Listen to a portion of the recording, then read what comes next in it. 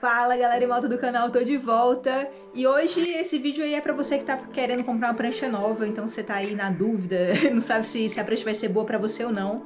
Eu vou te ensinar hoje três formas de como você pegar a prancha e saber aí se ela vai ser minimamente boa pra você ou não.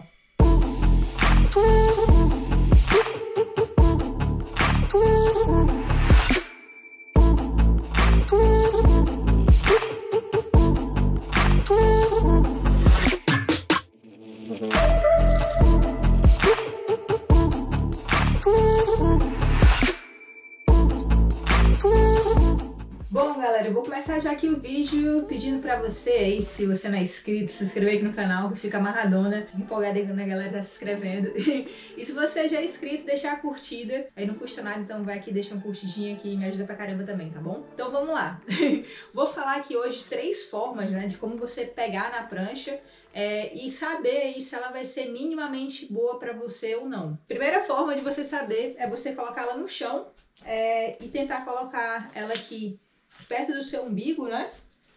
E se ela estiver batendo mais ou menos na altura do seu umbigo, ela é uma prancha aí que já tá aí minimamente boa para você com relação a tamanho. Basicamente ela não ficar nem muito acima, né, nem muito abaixo aí do seu umbigo. No caso, no meu caso, ó, ela tá aqui talvez dois dedinhos meus aí.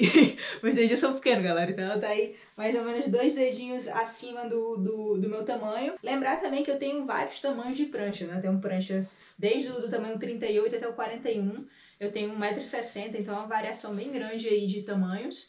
Mas, como eu já até falei aqui num vídeo é, sobre bloco de prancha também, a gente muitas vezes acha que vai ter uma prancha que ela vai dar para tudo. Então, essa técnica aqui que eu tô ensinando é para você ter mais ou menos um norte, né? Então, ela pode ficar ali um pouquinho acima ou um pouquinho abaixo, mas não muito. Imagina, se, ela, se essa prancha estivesse aqui, assim, ó, por exemplo, desse tamanho, é, para mim, talvez ela já, tá, já teria muito grande, já seria muito difícil eu manobrar com ela. Resumindo, um pouquinho, um pouquinho acima, um pouquinho abaixo do seu umbigo, ela tá aí num tamanho adequado para você. Segunda forma aí de você saber se a prancha é, é minimamente boa para você, né? É colocar ela no braço e ela não ficar nem muito apertada aqui, né? No caso, tá vendo? Eu tô, tô apertando aqui na minha axila e ainda tem espaço aqui ó, para agarrar e nem ficar muito assim pequenininha, né? Imagina que ela ficasse aqui assim, aqui tá o, tá o, final da minha axila, né?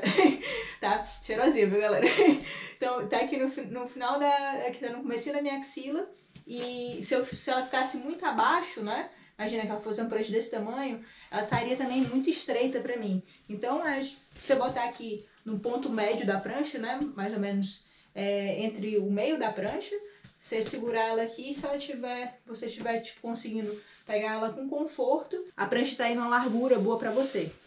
Terceira e última forma aí de você olhar se a prancha é minimamente boa para você é colocar ela aqui no, no seu quadril, né? E segurar ela. Então, se ela estiver muito pra. É tipo, é, tipo, imagina, se minha mão estivesse pegando aqui no finalzinho, eu estivesse muito desconfortável com esse movimento aqui, tá vendo que eu tô, tô até com o, o meu cotovelo está um pouquinho aberto, eu consigo ainda ficar nessa posição.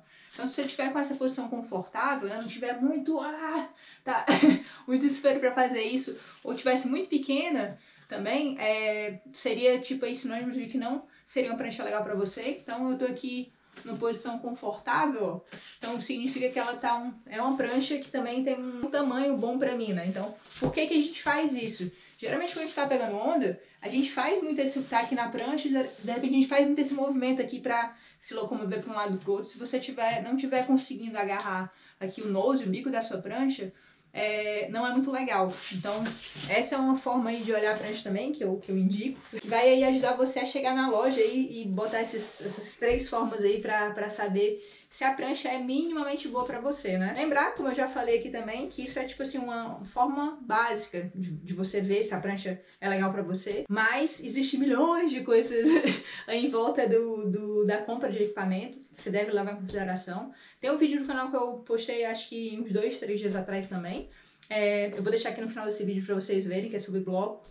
E eu também falei um pouquinho também dessa escolha de bloco também, que também é outra coisinha aí no meio do universo gigante aí que tem para escolher equipamento. Bom, espero que vocês tenham curtido o vídeo de hoje. É, lembrar que tem aqui os produtos do Nabela, tem um cap, tem camiseta, tem as bermudas, galera. Então, Tem altas bermudas aí iradas aí, essa aqui é a pretinha, ó. E tem outros produtos, vocês podem olhar aí tanto no ondabela.com.br, que é a loja do Brasil, quanto no ondabela.com, que é a loja em Portugal que distribui para toda a Europa, tá bom? Espero que vocês tenham curtido o vídeo.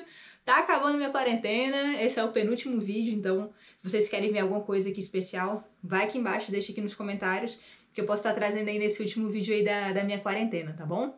Beijão, tamo junto e até amanhã. Amanhã tá de volta.